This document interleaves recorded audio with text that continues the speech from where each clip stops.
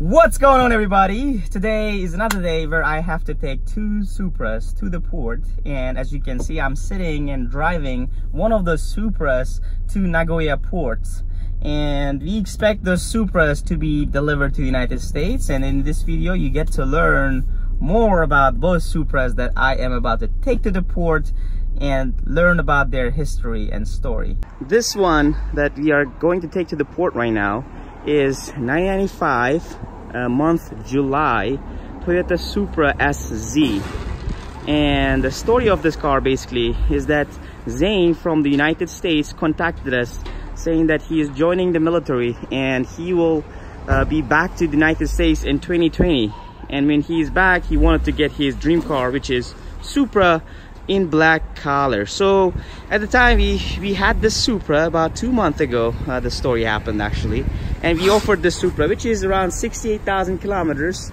Uh, very clean very very much well well maintained car. Oh my god sorry for my english. And uh, basically he ended up purchasing this car at the price of uh, 18,300 uh, dollars or something like that price basically. So we will be uh, storing this car for him until uh, July of uh, 2020 and we will basically ship out the car once it is 25 years old and USA import legal at exactly time when the Zane will be back uh, from his deployment and uh, he will get to his he will get to drive his dream car Supra as, he, as you can see. Look at the interior of the car. It's a pretty clean car. Uh, dashboard and everything, seats, basically mostly stock car except for the shift knob of the car, as you can see over there. So, mostly stock, beautiful condition, Supra SZ. We'll be going to the United States in 2020. Until then, we will be basically storing the car at the port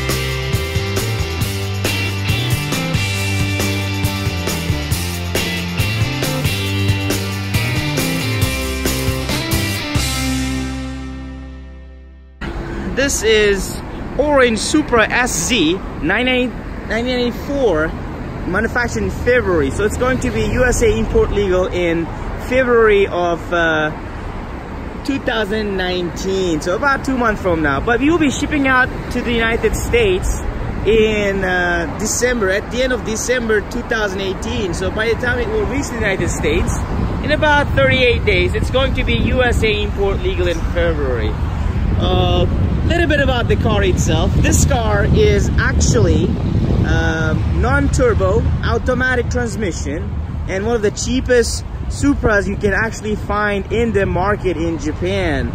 The original color of this car was silver, but the owner was very much a big fan of a Fast and Furious uh, uh, movie, just like we all are, of course. And he wanted to have his Supra repainted to match the color of the orange Supra featured there. So basically, he did. He had his uh, Supra repainted uh, although it doesn't look exactly like that but the paint job has been overall a good job done. I mean paint workshop has overall done a good job on that car. And it's accident free it has 109,000 kilometers genuine on the mileage. Pretty much a relatively clean car. You know it drives pretty awesome.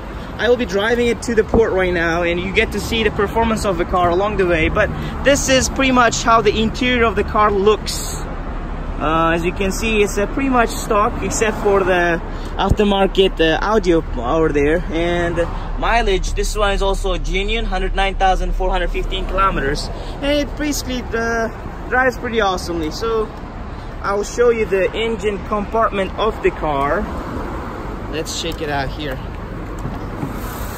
Here we go. So basically car is running and this car does not have any rust and it's pretty good uh, pretty much uh, of a good condition. So just to point it out this car is not actually sold yet. Um, we are planning to sell this car. We have several inquiries on the car and we want to be able to ship out this car in December. So uh, we think that's highly likely to be uh, sold by by the end of December and we would like to ship it out to the United States once it is USA import legal under 25 year, uh, years old rule. So um, there we go. This is pretty much mostly what you can see about the Supra. So let me sit down in the car and actually get ready to go uh, to get ready to go to the port. And before that I have to set my dealership plates up. So one second. We are all set. Dealership plates are on. This is pretty much the interior of the car how it looks. And we are on our way to the port right now. Let's go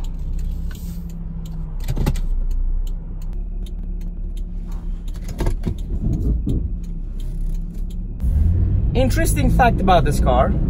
As you guys understand i drive all types of japanese sports cars. Nissan skyline gtrs uh, all models of course rx-7 supras but you might say that this car is automatic transmission it's an a not turbo and everything else but i tell you what this car is pretty fast as well. Watch this out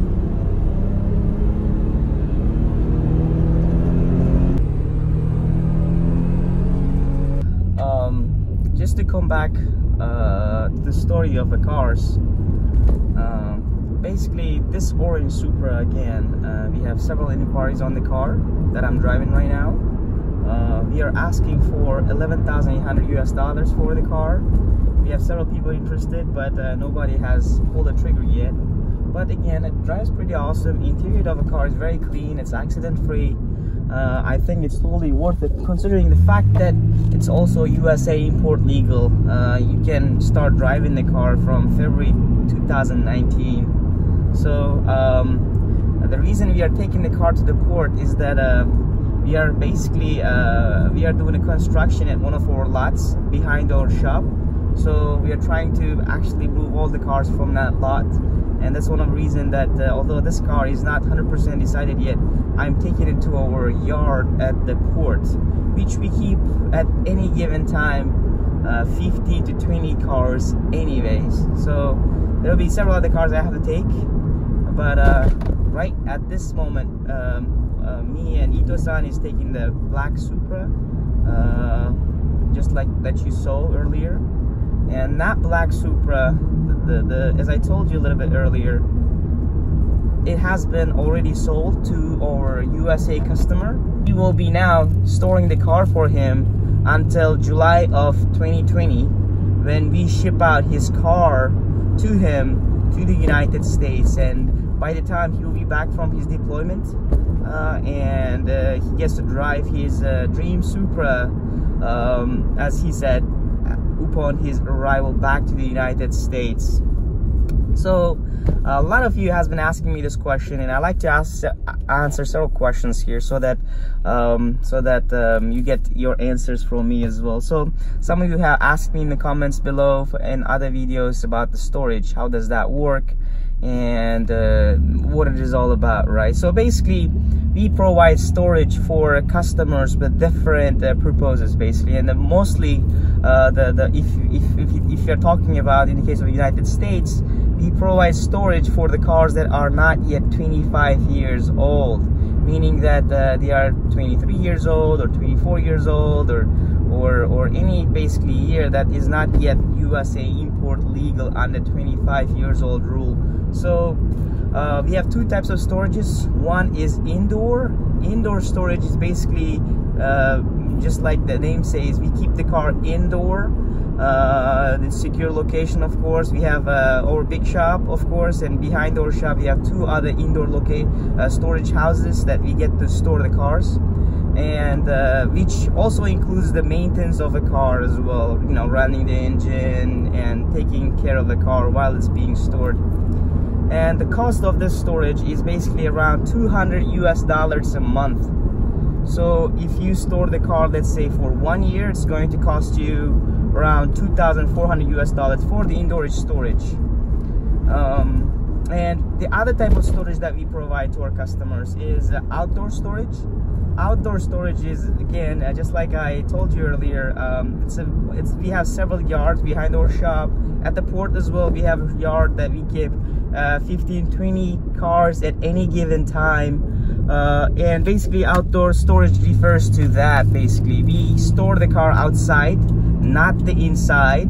But of course it's a secure location. Car is uh, uh, well protected. Uh, nobody's going to touch it. Um, and or guys still take care of the maintenance such as running the engine uh, once in a month for a while and you know all the maintenance related stuff you will take care of it. It's a basic maintenance of course but uh, you'll be taking care of it, taking care of the cars as well outdoor as well. So for example some of you have asked me a question uh, saying that it's 2018 now and uh, I want to purchase a Nissan Skyline GTR R33 and it's going to be USA import legal uh, in 2020 and I want to import it.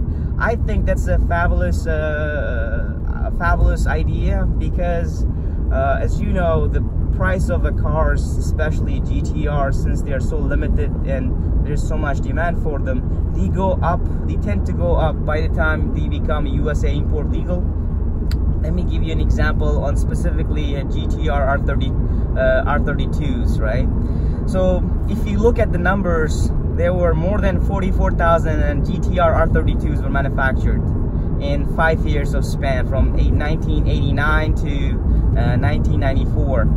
And uh, from 1995 to 1997 or 8, uh, next generation uh, Nissan Skyline GTR was manufactured, which is GTR 33. Then, of course, from 1999 to 2002, there were GTR R34, the next generation uh, Skyline GTR was manufactured. So there were 44,000 uh, GTR 32s manufactured in total. 17,000, more than seven, a little bit more than 17,000, but uh, around 17,000 R33 GTRs manufactured uh, in the lifespan of three years, and around 14,000 GTR 34s manufactured.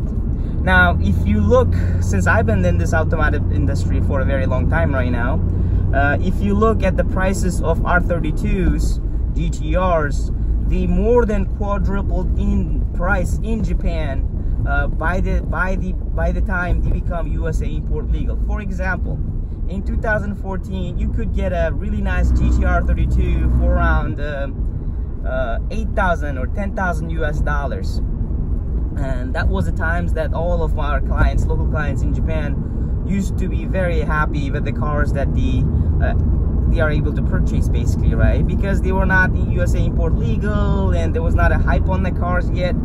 But um, once the cars start becoming USA import legal US market starts sucking up all the GTR 32s although there were more than 44,000 of them are manufactured. Of course a lot of them are uh, crashed and and gone of course. But but again the, the price of the cars the same car that you would be able to buy in Japan in 2000, let's say 14, uh, right now at $8,000, let's say, right now in Japan, uh, costs you maybe 30, 35,000 US dollars. It has become that expensive because there's so much demand from United States, it's just unlimited. Now, again, it's just the rule of uh, economics, supply and demand if you look at the number of R33s now, they were manufactured only 17,000, which is almost three times less in numbers than R32s. But they are a next generation model cars and uh, they are priced right now even cheaper a little bit in, in comparison to R32s. It's unbelievable. And uh, what we expect, what I personally expect as a professional in the industry is that uh, their price will go up uh, I'm, I'm pretty sure that by the time they are USA import legal, the, their price will be going nuts. Um, so uh, for around 30,000 US dollars right now, you can get really nice, uh, really nice condition, uh, very well kept R33 GTRs, 995. and in 2020 we will be USA import legal we already have several customers already purchased cars and have been storing with us so um, so we, if there are people who are from the United States and they want to beat the market inflation and store their cars that's kind of storage that we offer for those people. So basically we sell the car to them uh, at a really nice price. So we find the right car that they are looking for and we offer them according to their preferences either indoor or outdoor storage. Uh, of course for high value cars we recommend indoor storage and uh, low value cars we, we, we, we, recommend outdoor storage depending on the car's condition uh, the price of course and the needs of our customers so let's say that if you are um, if you are interested in R33 GTR, you want to beat the market inflation, you can get really, really nice condition, low mileage R33 GTR right now for $30,000, right? And then we offer you storage and by the time of 2020, we can have that car delivered to you in the United States. And that's basically all about the storage that we provide, you know, and we, we take full responsibility for the cars we are storing and everything else. Now, let's come back to the example of Zane, uh, USA military personnel who is on deployment right now, purchased that black Supra. Right now, we are taking to the port. He was able to purchase that Supra, low mileage, very clean, pretty much stock, awesome condition, uh, five-speed manual Supra uh, SZ. He was able to purchase that for 18,000 US dollars. 18,000 something, right? And we will have that car delivered to him in 2020 when he's back from the deployment. Now, uh, if you do the calculation, exactly the same condition car right now, it's already very hard to find 993 Supra SZs right now, black and kept, that kind of condition. But even if you find it, you can find it for 23 $25,000 maybe in Japan. That's the price that you will have to pay for for uh, for 993 Supra SZ, clean, low mileage, uh, accident free, and pretty much stock Supra. Now, Zane was able to get it for $18,000 because uh, the demand for that car, uh, of course, from the United States, there's no demand for it, for it because uh, most people do not uh, prefer to store the car for two years. So, um, and that's the example how Zane is basically gaining or, or basically being able to save around 7,000 US dollars by storing the car with us uh, at one of our parking, uh, of course, uh, the, the storage local parking lots, and we will have it delivered to him. And I'm sure that he's gonna be super happy. And Zane, if you're watching me here, you have done a fabulous decision, and I think your investment is growing by the time it's being stored here because even in Japan uh, you cannot find cars like that anymore. I mean they are become very very rare and and uh, and it's surprising that how rare they are these days. So even in Japan right now if you look at low mileage clean stock condition Supras there are maybe four five available at any given year not just 93 94 95 so it's quite hard and it's a good investment for sure. So I am on the orange Supra uh, SZ uh, driving it right now. It uh, drives pretty awesome so far. I don't have any issues or whatsoever uh, with the car. Uh, it drives pretty awesome uh, and I totally think that it is worth the value which is 11,800 US dollars. Hey even if you take it to the US right now and offer it for sale I'm sure you can make a quite nice return on the car as it is condition because uh, because it's although it is automatic transmission and non-turbo uh, it drives pretty fast pretty fabulous. I mean for it is uh, for its grade and everything else. And uh, yeah I think it's totally worth it. Pretty clean interior accident